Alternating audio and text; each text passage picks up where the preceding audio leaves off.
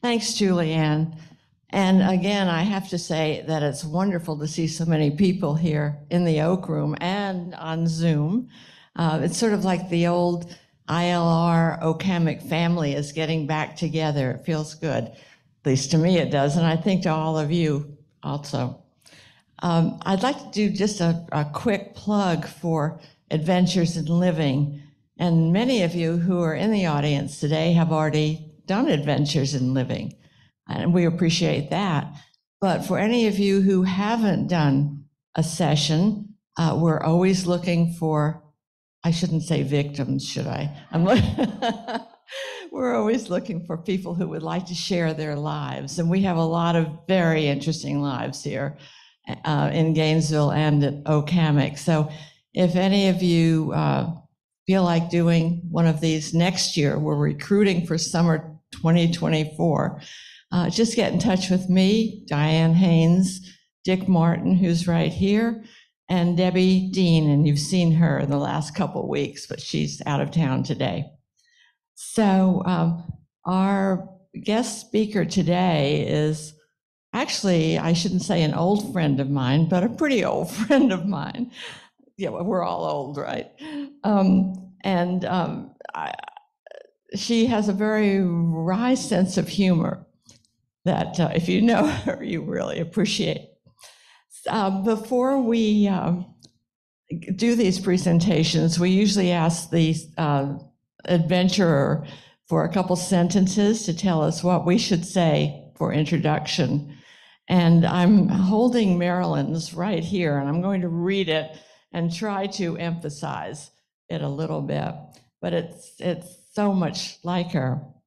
So the quote here, and this is all in quotes. She says, "For the life of me, I cannot fathom why anyone would be interested in the life of me." It has been a bouncy, adventurous ride through 92 years of varied chapters from the Depression, and a lot of us remember the Depression, I think, um, to being an early settler at Oak Hammock. So I'd like to introduce you to Marilyn Hutchinson, who's right here. She'll, she'll be available for questions at the end. So take it, take it away.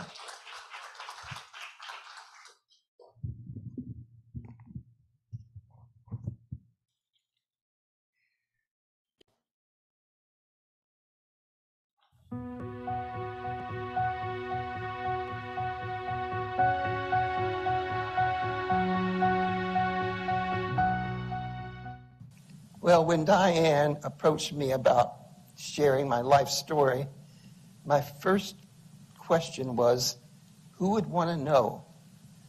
But then she agreed that it would be okay to make stuff up. So here goes. As a child, when living in Atlanta, I enjoyed the comic page of the daily paper. A feature on that page was Believe It or Not by Ripley. And I was always interested in the bizarre uh, entries in that column. One day, while eating a bunch of grapes, I came across one that seemed to be three grapes fused together. And I thought this was a good candidate for Believe It or Not.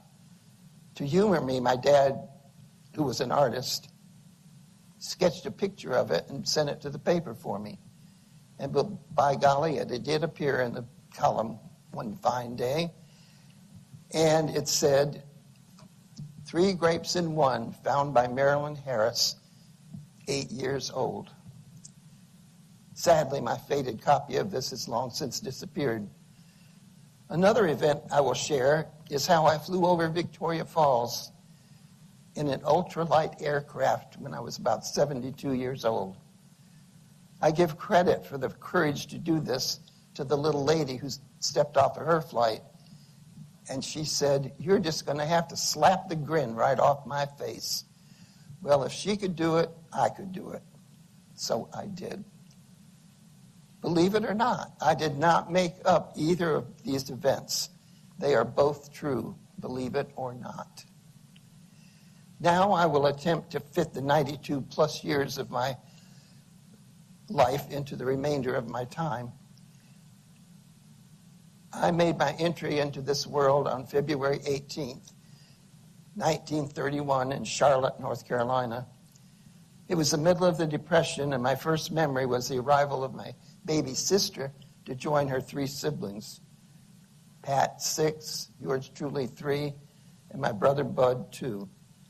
The last thing my parents needed was another mouth to feed. They married and settled in Charlotte, where my dad was employed as a commercial artist.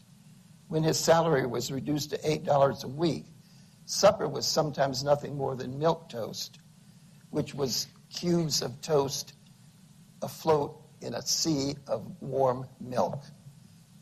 To this day, soggy bread turns my stomach. Our affluent grandmother gave Pat and me fancy taffeta party dresses. The irony was that the Mary Jane patent leather shoes we had to wear with them, the soles had worn through, and so we had to line them with cardboard. Another vivid memory was of my dad moving his violin from the living room closet to take to a pawn shop so we could have money for groceries. Another time, he took a baseball bat from that closet, hid it under his overcoat in case he needed it to protect himself when he crossed the picket lines. I overheard my parents talking about Hoover villages, and somehow I realized this had something to do with our president. And I felt a certain kinship to President Hoover because, after all, we owned one of his vacuum cleaners. Eventually, Dad found a better job in Atlanta, Georgia, and off we went. Gradually, things were acquired, such as a Wringer washing machine, made my mother's life a little easier. Rented a couple of houses a couple of years, and the next thing we acquired a house that we owned. They owned, or the bank owned. And finally, a car, which made outings possible to parks and the zoo and the circus, a fair, and even Shirley Temple movies. We always played outdoors. We were free range kids. We hopscotch, Mother May I, Sling the Statues, rock school, you name it. We played it always outdoors, collecting fireflies and putting them in jars to use as a nightlight on our bedside table. We went to our grandparents for summer vacations. Dad's parents lived in Brevard, North Carolina, where Granddaddy was mayor from 1935 to 41. Grandma was a liberated woman for those days. She drove a little Ford coupe named Betsy with a rumble seat where Pat and I were allowed to sit. We rode up Wagon Road Gap, past Looking Glass Falls and Looking Glass Mountain, where the CCC boys were working on the Blue Ridge Parkway. After, the ringing, after wringing the necks off a couple of chickens, and we would chase them around the yard as they flopped, Grandma would turn them into Sunday dinner on her cast iron wood burning stove. Granddaddy always hung a swing from the apple tree, and I made good use of it. Grandma canned the applesauce, and I recall a story about Granddaddy building shelves for the jars of applesauce. After stepping back to admire his handiwork, he is said to have proclaimed, Well, it ain't much for pretty, but it's hell for stout. Our other grandmother was a quite a contrast. Grandma Clausen was a Victorian lady and ran a tight ship. She was widowed and had a hired man who tended the house and the yard. Henry had a wooden leg, and he would satisfy our curiosity by lifting up the pant leg to show us how he, had, how he held its sock up with a thumbtack. Her home was in Circleville, Ohio, south of Columbus.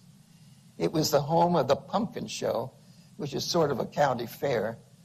And she was very indignant the year they put the pigs in her front yard. She did not think that was proper. Um, she also owned a house on the lakefront, Lake Erie, a lakeside on the lake, which was a Methodist Chautauqua, a summer Chautauqua. it was located on the Marblehead Peninsula, which is a peninsula that sticks out in the western part of the lake near, where the islands are. Put Bay, where Perry's monument is, where Perry fought his famous battle, so on, which is, you can see it from Lakeside. Cedar Point is also um, near Sandusky, and that's a famous amusement park. We spent several vacations there where we enjoyed all the activities associated with the Chautauqua. I attended kindergarten through fourth grade in Atlanta at a wonderful school. Mrs. Hale, my first grade teacher, launched me off to the wonderland of reading, and I give credit to my fourth grade teacher for stirring up my interest in bird watching and other things. 1939 was a big year in Atlanta when Gone with the Wind had its world premiere, and the city went wild. The department store mannequins were decked out in the costumes from the movie, and the actors were housed in one of the hotels. My dad's advertising agency had a contract with Cabin Craft bedspreads, so they had the bright idea of substituting their bedspreads for the actors' bedspreads in the hotel. Well, after these had been used, they couldn't sell them. So my dad got the one that had been on Clark Gable's bedspread bed, and it found its way to the master bedroom in our house. And don't you know, all my little girlfriends got a view of it when they came to play. well, as they say, all good things come to an end, and they did. Our parents parted ways and eventually divorced. Our mother sold the house, and we went to Ohio to live in Lakeside. Well, once the Chautauqua season ended in Lakeside, everything closed down. The only thing left was a small, old fashioned grocery store and meat market and a little sort of general store. And that was it. Everything closed down. But we had full reign of the whole town. We played everywhere. The hotel porch became our skating rink. And um, even though the tennis uh, nets were taken down, we could still play on the, the courts.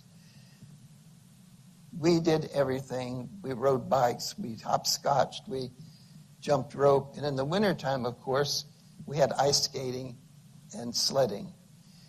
No one ever used telephones. We just go, come out and play, come out and play. And everybody, all age groups would play together, whatever it be, kick the can, um, baseball. One time, there were a bunch of us ice skating, and the, some fellows said, Well, let's skate over to Mouse Island. The ice is perfect today. So a bunch of us started out. It was about four or five miles. We hugged the coastline. After we got going for a while, I realized I was the only girl in the crowd. My brother was along, and he didn't make me go back, so I kept on going. We skated all the way, and when we got back that evening, our parents were a little upset. They said, You really should let us know when you're going to do something like this um, because we didn't know where you were and you could have gone through the ice or whatever. But like I say, we were free range kids. My, girls, my mother was a Girl Scout leader. And when your mother is a Girl Scout leader, by golly, you earn a lot of badges. These are my brownie wings. I was a brownie in Atlanta, but then this is our second class badge. And then you had to earn 12 in order to get to be a first class scout. So I earned hostess, interior decorating, drama, design, weaving, outdoor sports, hiking, outdoor cooking, I believe, so forth. So you had to do, well, like Boy Scouts, I imagine, certain number of activities to get these. The reason this one that's not sewn on, it was the last one, it's swimming. This was, I, I earned 12 more, which I earned the curved barb because I did 12 over my first 12. Anyway, the last one was a swimming badge, and the last activity I had to perform was to jump in the water with my clothes on and, and tread water while I peeled off the clothing. Well, I, we had this big long pier at Lakeside where we swam, and I didn't want to do that in front of a bunch of people. So I waited until the Chautauqua season was over, but I kept delaying it, and delaying it, and the lake was getting colder and colder. But one day after school, I thought, well, I've got to do this. So I put on this old dress and went down to the lake, jumped in, peeled off my clothes, dropped them to the bottom of the lake. They're probably still rotting there. And I did it. And I got out and I thought, I didn't have any eyewitnesses. Nobody would have known whether I really did it or not. But I, I had to be honest because I took the vow. the school was very small. It was a junior senior high school. And so when you were in fifth grade, they started grooming you to be in the band with an instrument. They hooked me up with a French horn. That was the instrument they had available. So I was in the marching band and the uh, orchestra. I was a cheerleader from seventh grade through 12th. I worked on the school newspaper, but everybody did everything. We had to do it, or we wouldn't have had these activities. I was on the track team. I was in several plays. It was good to have all those experiences, although we didn't have the rich uh, curriculum that other schools had. The year we moved there was 1941, the year of Pearl Harbor. Of course, the rationing, canned goods, sugar, um, meat, shoes, everything, tires, gasoline, of course, and um, all speed limit. It was 35 miles an hour everywhere, even on the open road. And that wasn't because of gas so much as it was tires because the tires kept blowing out and um, you couldn't replace them. They had none. My mother got very good at changing tires. During the teen years, I got a job at 13 wrapping silver at one of the summer cafeterias. I got $8 a week, which matched what my dad got when he was a commercial artist. I got a meal when I worked there during the time I was there. It was a time of big bands. Cedar Point had a big dance hall, and we would crowd in a car and go over there. And it's Stan Kenton, the Dorsey Brothers, Glenn Miller, you name it. All the big bands were on the lake circuit. They didn't have any place else to play. They would, were willing to get money however they could. We, we all drank Cokes. We'd nurse a Coke all evening, and that would be it. None of the fellas drank or smoked or anything. Well, time for college. I decided since I'd gone to such a small high school, a small college would be best for me. And I found a catalog for a little school called Hiram College, which is just south of Cleveland. And it had a couple of things that attracted me. It had a single course study plan. You took one course at a time, which meant you had no conflicts. You could go on field trips and so forth.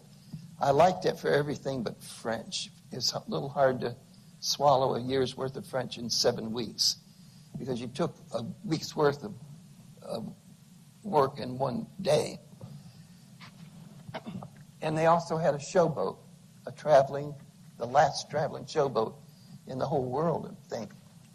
And um, that's where Hutch was. He had been on it for two years, and this was his third year. He had just graduated, and he was going to start graduate work at Kent State University. He got a, a graduate assistantship there. So, anyway, we started dating when we were on the boat. There was a romance on the boat. And one fine day, he asked me for my hand in marriage. And I said, okay. But he said, well, what kind of ring would you like? I said, I don't want an engagement ring. I would much prefer to have a sewing machine. So he got me a sewing machine, a little Singer featherweight, complete with attachments and the table that had the insert. I was off and running because I made most of my own clothes from the time I was 13.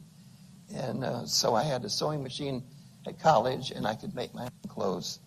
I didn't have to fight my sister for the sewing machine when we went home for vacations. well, I decided since I have to jump up on my time at school, if I went to summer school the next year, that's next summer, I could get through college in three years, is what I did.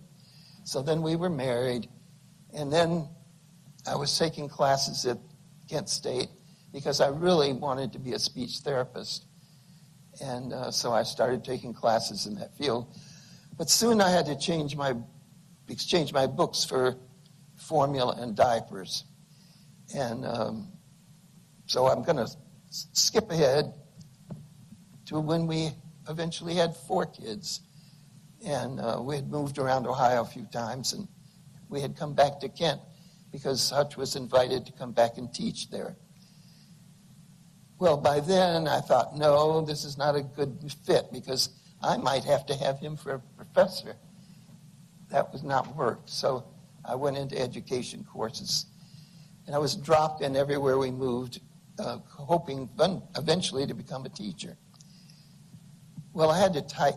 I think the reason he married me was because I was a good typist, because I got to type his master's thesis and his doctoral dissertation. And this was before copy machines, before computers, before any of that. You had to do five carbon copies two on bond paper, two on regular typing paper, and two on onion skin. If you made a mistake, you had to do little tabs of paper in between, otherwise, everything would be smeared up. That's where I learned that patience is virtue. Trying to do this with a lot of kids, my day typing began when they went to bed. Before that fourth child was even a year old, we started tent camping. We took long trips out west. The first year, we spent a week in the Black Hills and then went on to Arizona. We, the, during the years we camped like that, we went to most of the national parks and national monuments. And that child spent his first two birthdays in the Rocky Mountains. One year it was in Rocky Mountain National Park, the next year it was in Banff uh, in um, Canada on our way out to the uh, Seattle World's Fair. Well, we ended up in Auburn for four years. And I was a drop in there as well, taking classes, hoping maybe someday to get my teaching certificate. Well, then Hutch found out his professor that he really admired was here at University of Florida. So we made the move here so he could work under Paul Moore. We bought a house out on Newnan's Lake, and um, the kids were wild like we were we had a pond back at, behind in the pasture where the fellow who owned all that property said the kids could have horses. Some of the neighbor kids had horses, so we had horses. We had every possible pet you can imagine, with the exception of a tarantula. We had snakes, we had rats, we had gerbils, we had goats, we had horses, and um, dogs, of course. So it's no wonder that one child ended up being a veterinarian and another one a veterinarian technician, and one as a conservationist, and among other things. And the baby son turned out to be a, a geologist, but he taught science in high school. Okay, living on Newnan's Lake, I believe I deserve sainthood because the boys would go back to the pond and the pasture and camp out there overnight and gig frogs. And then they would bring them to the frog legs to me in the morning for me to cook for their breakfast. And I did it. And I think I deserve sainthood for that. Well, I finally stayed in one place long enough to get certified to teach school. And this ha- happened to be the year that the decree came down from on high that they would have forced integration. I got the last job just prior to that the only job in the county open was at Duval Elementary, which was an all black school. And I was scheduled to teach for uh, sixth grade there. And, uh, but they delayed school starting for two weeks so they could shuffle the kids and the teachers around. And uh, it ended up Duval was going to be just a fifth and sixth grade school, and they cross bused the little kids over to Metcalfe and Stephen Foster. Well, the parents, some of them were very upset about the integration business. My first year of teaching, and I was quaking in my boots, they made us have an open house the first week of school. So I'm standing there. Parents come in. What's your ratio? I said, Oh, I have 11 boys and 13 girls. Well, they couldn't ask the next question. So you talk about thinking on your feet. that was getting me out of trouble right away. I enjoyed teaching a great deal. Um, my claim to fame is I never had a child vomit in my classroom. Because the first instant of the first day of school, I would give a little lecture. If you ever feel sick at your stomach, you don't have to ask my permission. Just don't even raise your hand. Just put your hand here and go. The janitors asked me one day, Miss Hutchinson, how come the kids throw up right outside your door? Well, I didn't want to explain. I knew that throwing up was a, not a spectator sport. Everybody had to get involved, and I couldn't have that. I taught, ended up teaching every grade except second, because I was certified from kindergarten through 12th grade. But my upper class stuff didn't start until I got to North, North Carolina. One year I even got to be a librarian because they didn't have one. And I told the principal, I said, I'm not certified as a media specialist. He said, That's okay. You know the alphabet, and you can learn the Dewey Decimal System. And so, anyway, I got to be a librarian, and that was fun. I really enjoyed it. And another year, a principal asked me, Would you fill in second semester as a special ed teacher? And again, I said, I'm not certified in that area. He said, You do the same thing, just do it slower. So I got to do that for, and I was amazed at how much material they had that we didn't have in the regular classroom. Duval Elementary was not air conditioned. As my son said, the prisons were air conditioned before the schools were. And I had this dress that I probably wore more often than I should have. It was red and white checkered, and it was cool, and it had no sleeves. And I wore that a lot because it was, you know, comfortable to wear in hot weather. So years later, I'm in a drugstore looking over greeting cards, and I hear this voice behind me saying, Mrs. Hutchinson, how are you? Turned around, saw one of my former students that I'd had years before, and I said, Christy, I'm surprised you recognized me after all these years. And she said, Oh, I didn't recognize you. I recognized your dress. And sure enough, I was wearing that red checkered dress. well, I came into some money. My mother died and left me some money, so we decided we should invest it in land in North Carolina, where I was from originally. So actually, my husband and my son went up and scoured around, found this property in the northwest corner of North Carolina, just above Boone, just south of where three states come together.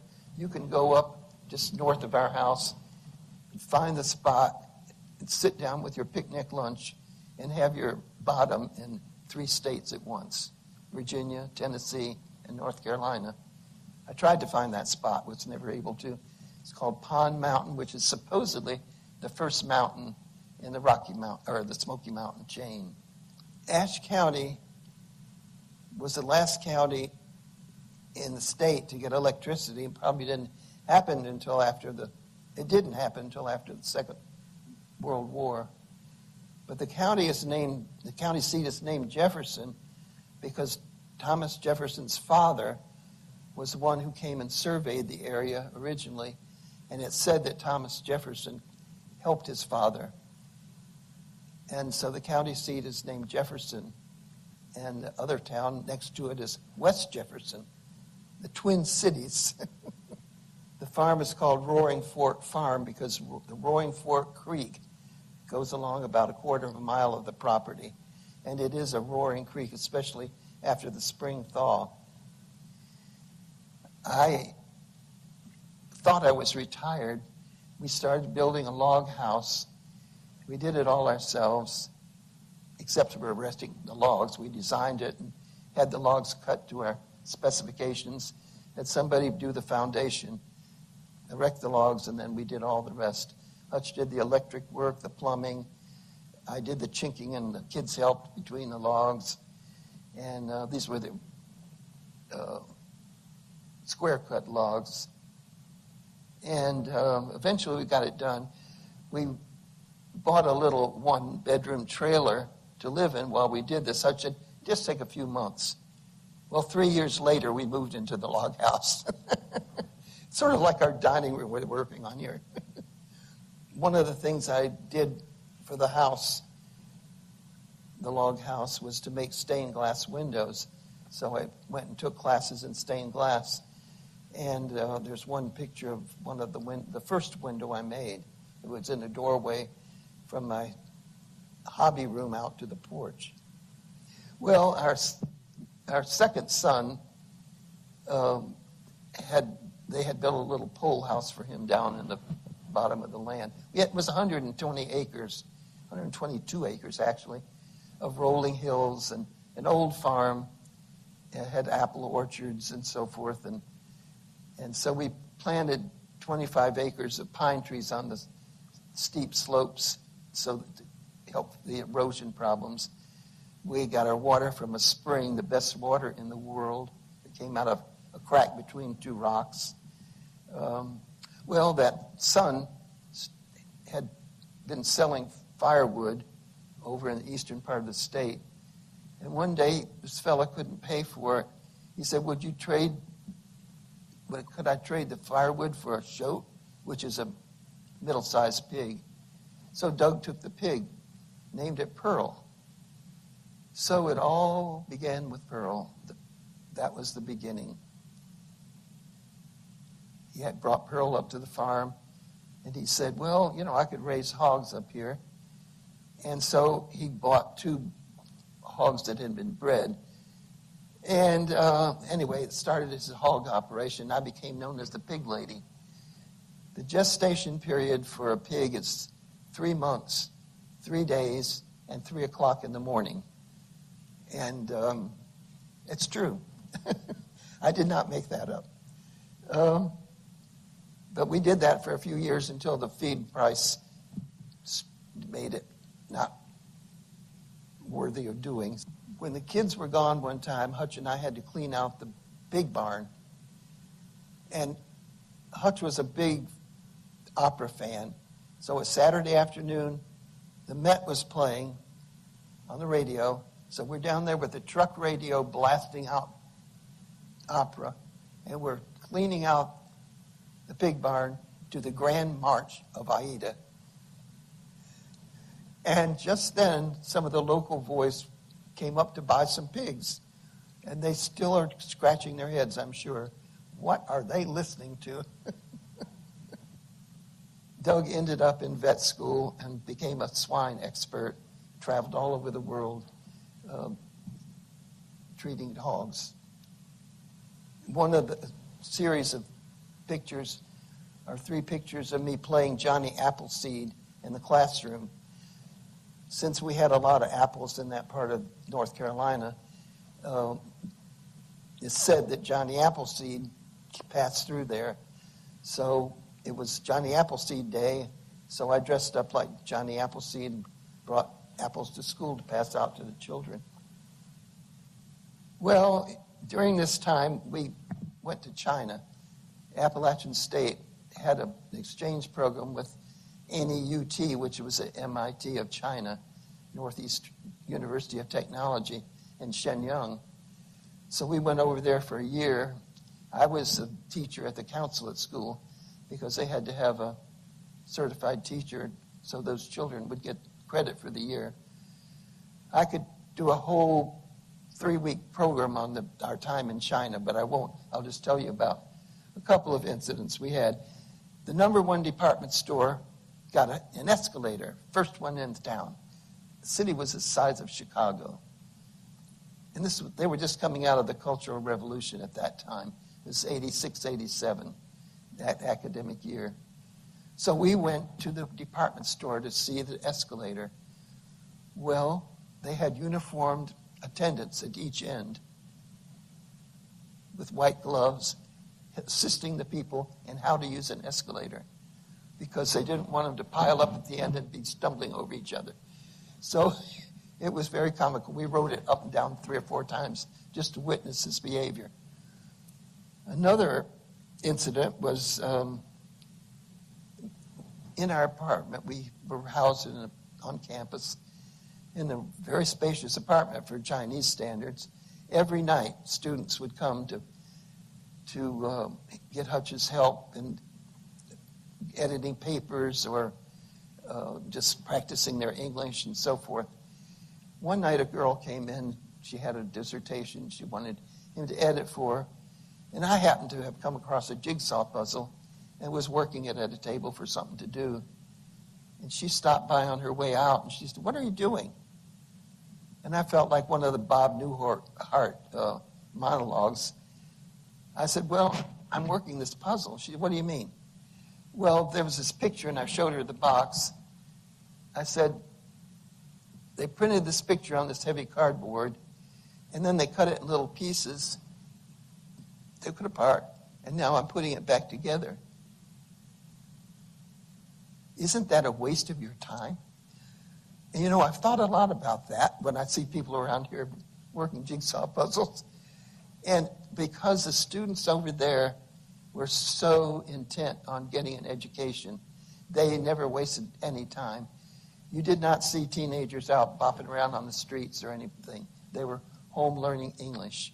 More people speak English in China than speak it in this country, and they probably speak it better. Um, so that was, I said one more thing. Oh, I know we were called Dabitsa, big nose. And uh, I learned enough Chinese language to understand.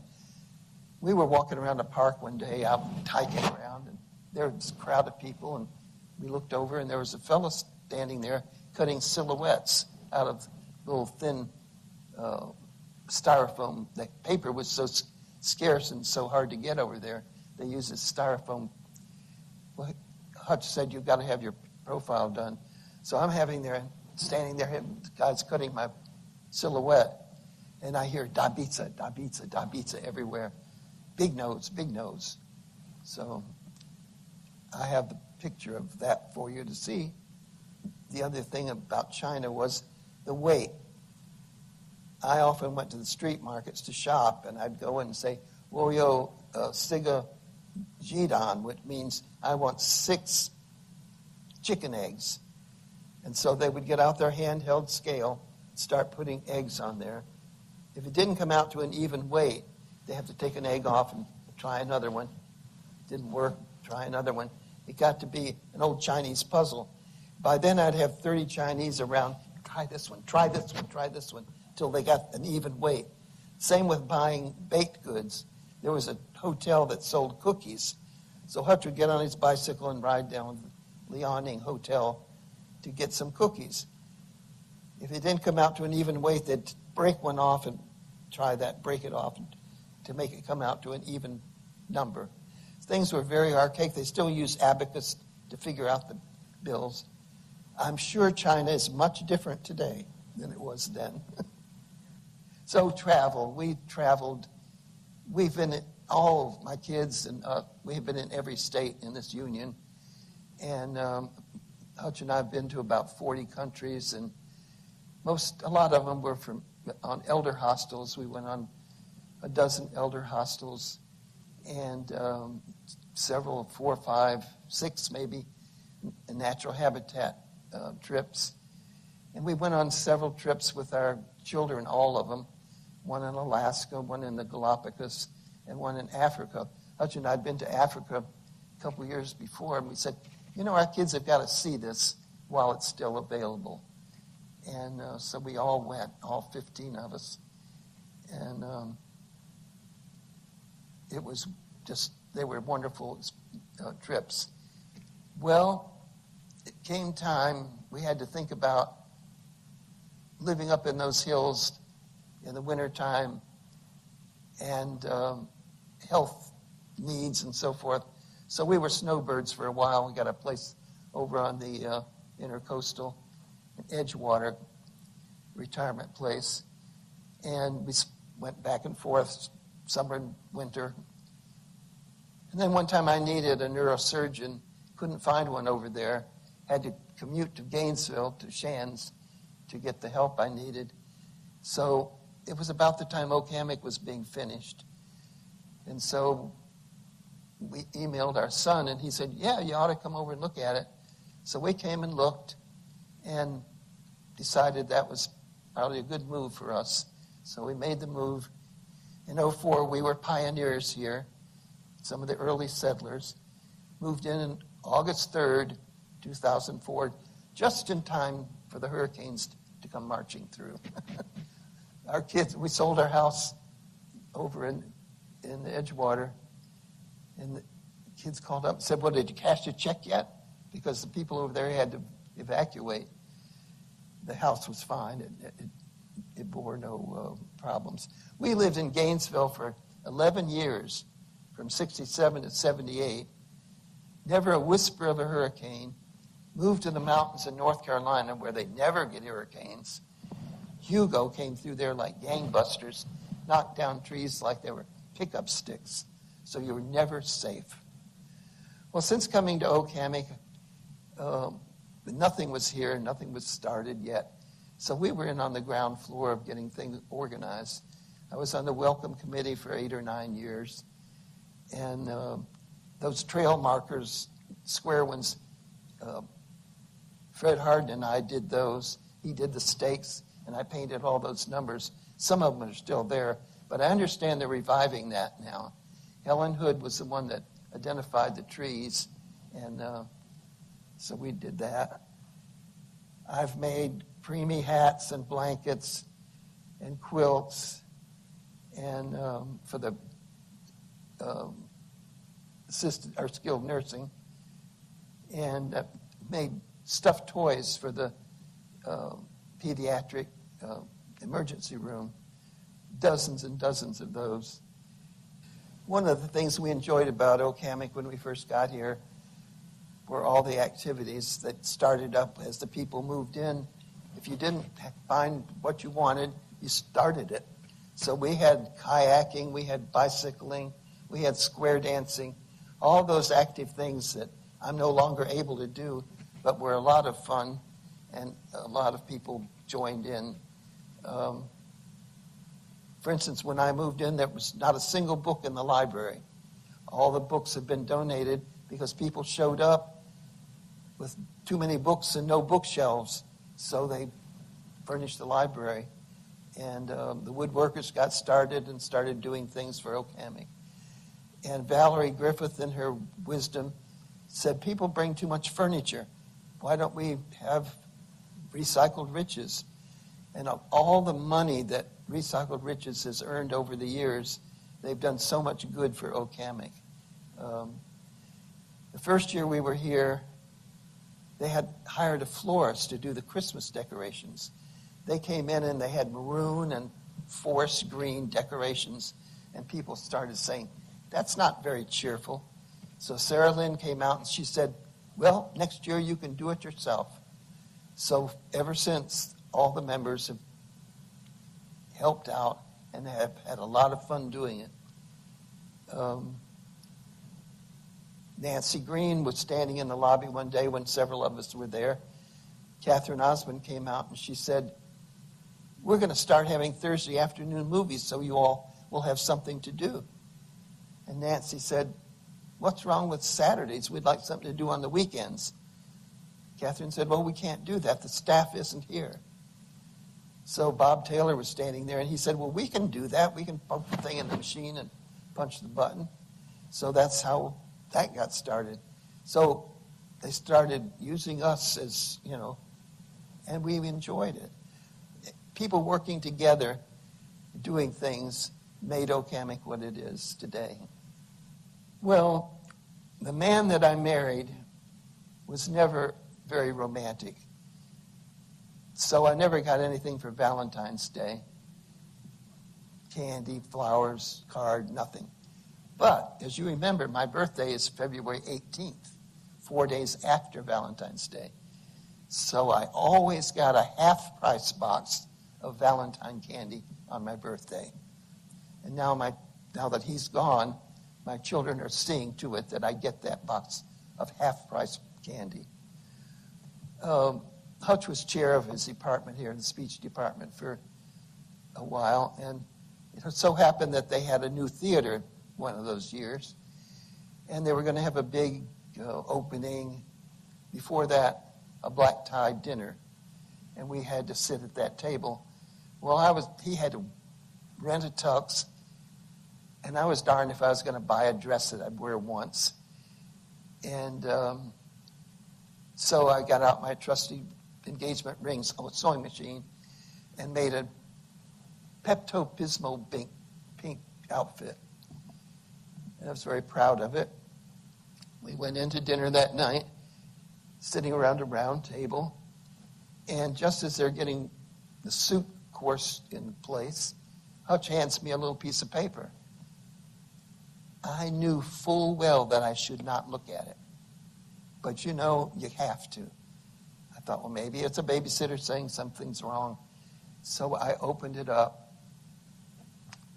It said, Congratulations, you won first prize in the home or the 4 H sewing contest. Well, if I had had a mouthful of soup, everybody would have been wearing it. Everybody. I forgot to tell you about my sampler. I, uh, Progressive Farmer magazine had a contest when we were living in that one room t- trailer to make a sampler. And so Hutch said, You should do that. So I said, Oh, well, something to do while my time away. So I did, and I won first prize for my sampler and uh, a thousand dollars. But I was disappointed because what I really wanted was a second prize, which was a gold thimble. We had to write an essay to go with our sampler to explain why we stitched what we stitched. So I wrote, Make mine country far from bustling towns, wide places, mountains, trees, and boundless spaces. The words stitched on the sampler express my feelings about the small family farm in North Carolina. There are animals to feed, bees to tend, and endless rows to hoe. But there are eggs to gather, honey to share, and fresh rhubarb pie for supper. There are orchards to prune, firewood to split, and the barn to clean. But there are juicy apples to grind into cider, new baby pigs, and a warm fire to take the chill off a mountain evening. There are hogs to chase, fences to mend, cutworms to battle, and canning jars to fill. But there are wild blueberries along the road, shelves of vegetable to last the winter, a carpet of wildflowers on every hillside, and a blue butterfly. When the busy times are over and snow blankets the mountains, we retreat within the cozy log walls to work on cabin crafts while awaiting the return of the bluebirds and the first yellow violet. It's been a great life, but ups and downs and backs and forths and so forth. But I've had 70 years of good health. I nev- never needed glasses. I don't need a hearing aid. And I have four very successful, wonderful, supportive children. And I've had a, a great married life. And Oak Hammock has been the right place to be now.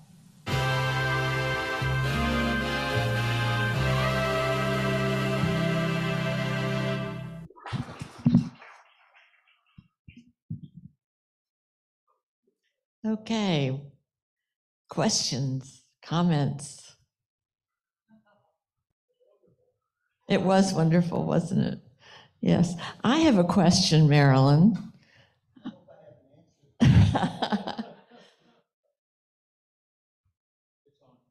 Okay. Yeah, Marilyn, you do a lot of wonderful painting, and I know you've won some prizes, I think, in some of the shows here and maybe elsewhere. And I didn't see anything about your painting. Would you talk to us about that?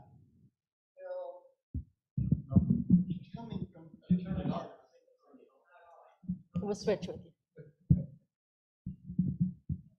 What would we do without Julianne? I had two parents who were artists, and so we always had art materials in the house. And so we all dabbled in it. And through the years, I always uh, dropped into art workshops and so forth. But, you know, having four children and being a typist, I didn't always have time to do what I wanted to do. So I've, you know, just done it piecemeal over the years. But coming to Oak Hammock, um, we've had a wonderful art program here, and I got, you know, joined the revival and uh, have had fun doing it here. But somehow I just forgot about it when I was doing this program. But um, I still like to do it. I don't have much space in my present location, and the art room is so far away. Uh, so I haven't done much lately, but I would like to. Yeah. Do you have some pictures in the show that's out there now? I have four. Okay, so that's something to look for, for the rest of us. Yeah, yes, I'll, I'll be right there.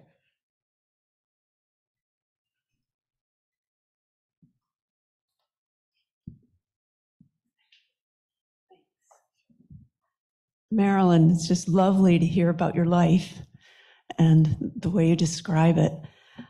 You were talking, if I understood right, you went into this cold water, right? And you were all alone. And then you took off your clothes and they went to the bottom and they might still be there. I was just wondering, like, what you did next.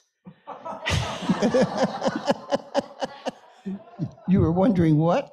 What, what you did next. Like, Oh, how did you get home without any clothes? Well, oh, I had my bathing suit on underneath it. all. Oh, you did. And that, that was cheating, I know, but uh, Oh, but I had a a coat or something to wear home. well, that's good. You're you're a smart cookie for that. Right. Yeah. I, you know, the Girl Scout motto is "Be prepared." Thank you. Other questions, other questions, comments? Doris? Hi, Marilyn. Where's the featherweight? Oh well, my husband, we were in a square dance group when we lived in Water, and the uh, leader's uh, wife was a quilter, and she was longing for a featherweight to take to her meetings. So my husband said he would sell her ours. He sold it to her for two hundred dollars. One time, I called a, a dealer and uh, that dealt with sewing machines in Jefferson, North Carolina, and I asked him if he bought used sewing machines, and he said, "Oh no, he didn't bother with that anymore." And I said, "Well, I had a featherweight that I was, you know, just wondering." He said, "Well, what are you asking for it?" I think he was willing to pay almost anything for it, so it was worth more than two hundred dollars.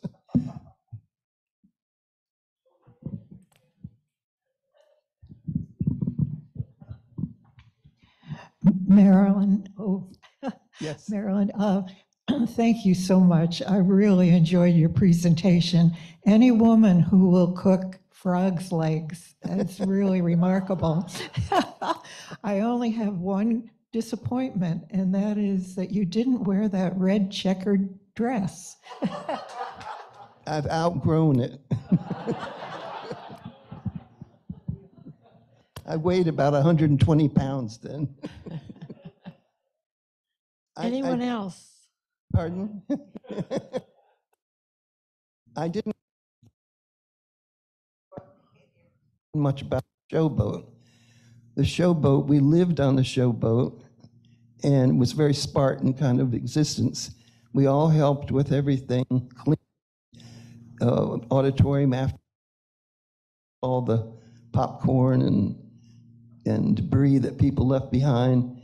But we also helped with KP. One of the dorm cooks was our cook on the showboat every summer. Her name was Aunt Pearl. And um, the boat would come up the river playing the ca- calliope, or the calliope, as you would call it, the steam piano, playing, Here Comes the Showboat, Here Comes the Showboat. Um, an advance man would have gone to the town to put up posters so that they knew we were coming. In some of these small little coal mining towns along West Virginia banks, this was the only entertainment they would have all summer. TV was in its infancy then, and not many people had TVs, and they didn't have mo- movie theaters, so this was their prime source of entertainment. The summer I was on, they did a cut version of Arsenic and Old Lace, and then alternate nights they would do an old-fashioned melodrama where the people could hiss the villain, and um, they had vaudeville acts and uh, chorus line to start it, and a candy sale, and it was a lot of fun. Um, we got lights just when the uh, electricity just when the show was underway, so otherwise we had to use little lanterns or flashlights, and um, no real bathing uh, facilities. If we were in a town that had a Y or a hotel that would let us come up and take showers, we would do that.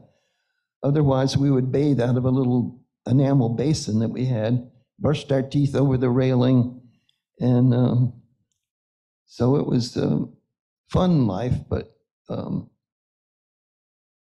as I said, very Spartan. Any other questions or comments?